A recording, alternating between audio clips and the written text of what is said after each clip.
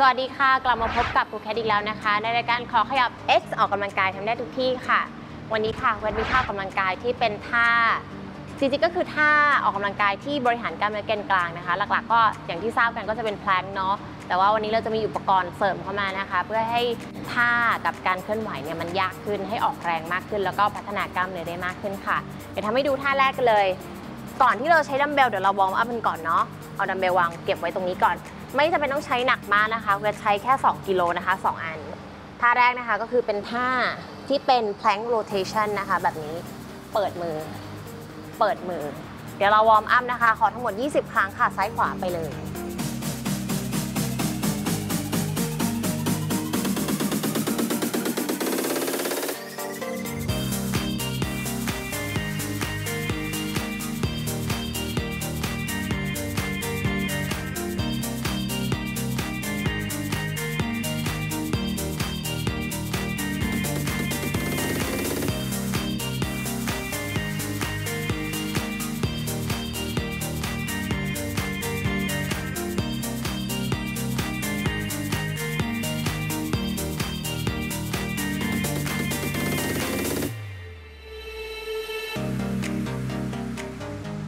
ต่อไปนะคะ จะเป็นท่าที่เรา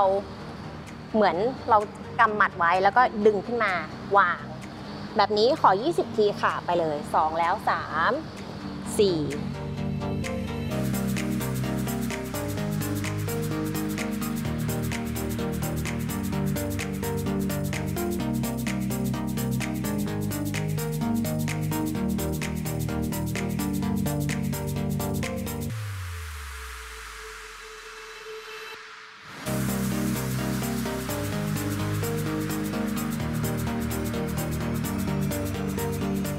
เคค่ะ ต่อไปนะคะจะใช้เป็นดัมเบลแล้วเนาะ ก็คือ เหมือนท่าเมื่อกี้ plank rotation แต่ว่าเราใช้ดัมเบลนะคะ จับแม่นๆ มันๆ เปิดขึ้นมา 20 ครั้งนะคะ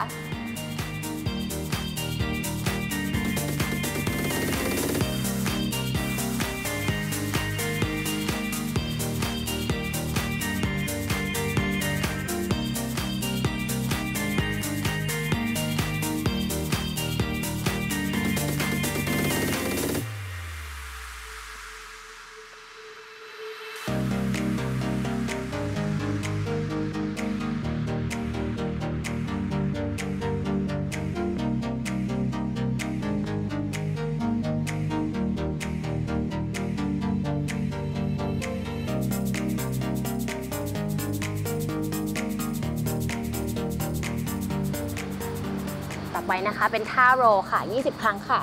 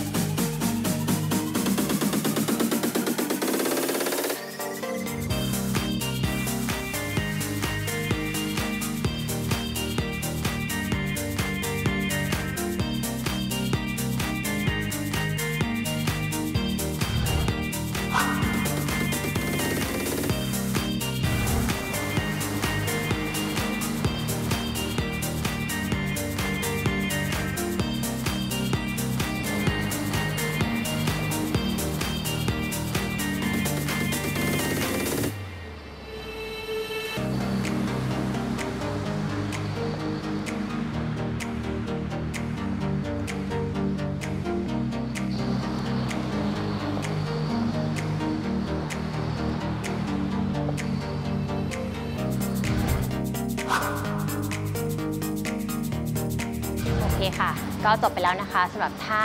ออกกำลังกายกล้ามเนื้อแกนกลางลำตัวหรือว่า core muscle นะคะ